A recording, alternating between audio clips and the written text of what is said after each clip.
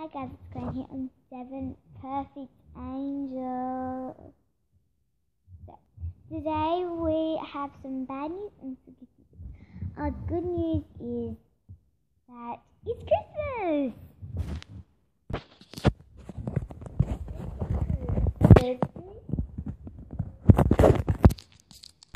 That's some of bad news.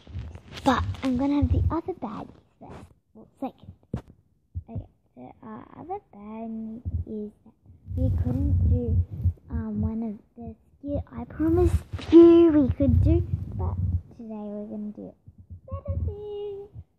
We couldn't do that, so instead we're gonna do a bit of everything. So yeah, hope you enjoy. So today we're actually gonna do a play. So it's gonna be with me.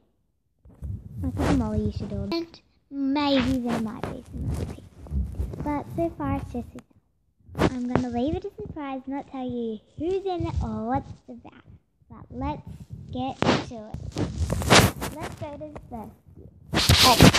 No, let's get to the first skit.